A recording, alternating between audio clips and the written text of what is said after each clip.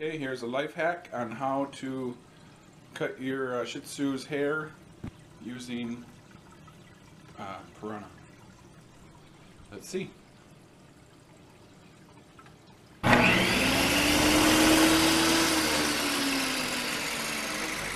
Wow, that worked fantastic.